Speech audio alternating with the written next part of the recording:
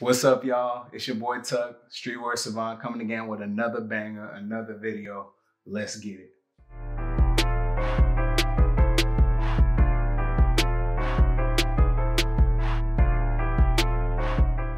I hope you all are having a wonderful Sunday. And during this quarantine time, you see I'm in my cozy fit now, all my hoodie, very comfortable, very heavyweight, but I'm doing good, I'm doing well. So on this Sunday, we are going to do a self talk. Self talk. so a self talk is going to be his tips and tricks for the mental, giving you the advice that I had to go through through this whole entire journey and just helping you guys along the way. So here we go. OG number one, the first episode of self talk. So our first topic is going to be drum roll, please. Drive, drive, the fuel that keeps you going, gets you from point A to point B, kind of just your running energy source to get to any goal you want to get to. Um, I guess for me, just when I tell people I lost 150 pounds, they don't believe me. It's like, oh, that took forever. How did you do it? And drive is a very, very, very essential part of that process. Like it was extremely necessary in order to get where I am today. As you can see, like look at look at me, like look at this. Drive was necessary for this.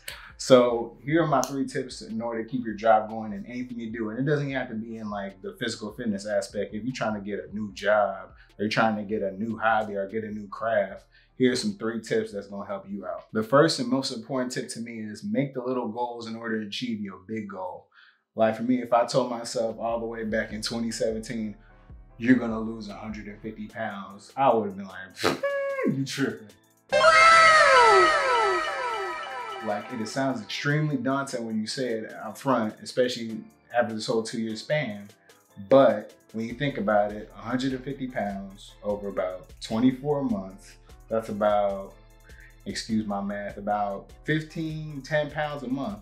So if I took it piece by piece every single month, it's a whole lot easier than what you may think. You don't have to just shoot for the stars immediately you got to take your little short pit stops in order to get to the main destination. So make little goals for your big goals. If you're trying to create a book, all right, next month I'm gonna finish the prologue, and then the next month after that I'm gonna do chapter one, and then chapter two, and three, and four, and so on.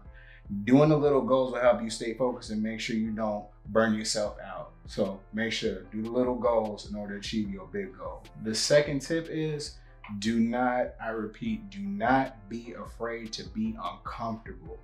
I know a lot of people don't want to be uncomfortable at all with anything they want to do. They want to act like they know that know it.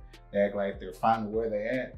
But like I always say, if you do the same exact thing every single day and expect a different result, you're insane. Like crazy, crazy. Sometimes you got to get out your comfort zone and try new things in order to grow.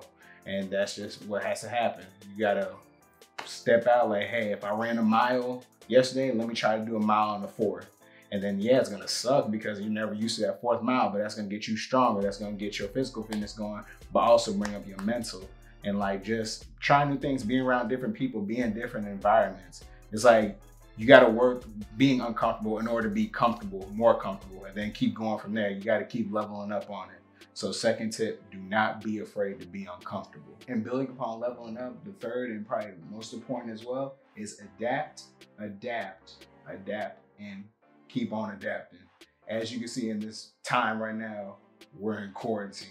And as you know, I go to the gym a lot. And as you can see, I'm not in the gym right now. So I had to learn to utilize my tools. I have YouTube doing in-home workouts. I have the outdoors. I run around the block, run around the forest preserve a couple times. Just utilizing the tools I have around me, being able to adapt to it. It's like in nature, you survival of the fittest. If you're not knowing how to adapt, you're never gonna level up, you're not gonna grow. And if you keep on adapting to your environment, your dreams will manifest into reality.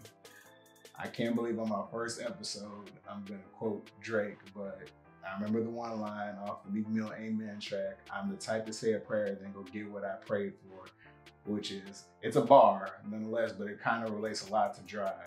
It's like you can pray about whatever you want, you can wish for anything you want, but if you're not gonna put the work behind it, what's the point? He put the work behind what he wanted in life, and he, as you can see, with all of his new track and all the assets he got, he's making it happen. So Make sure y'all put the drive to yourselves. Keep it pushing. Keep accomplishing your goals. This is Tuck. This is Q and K. Peace.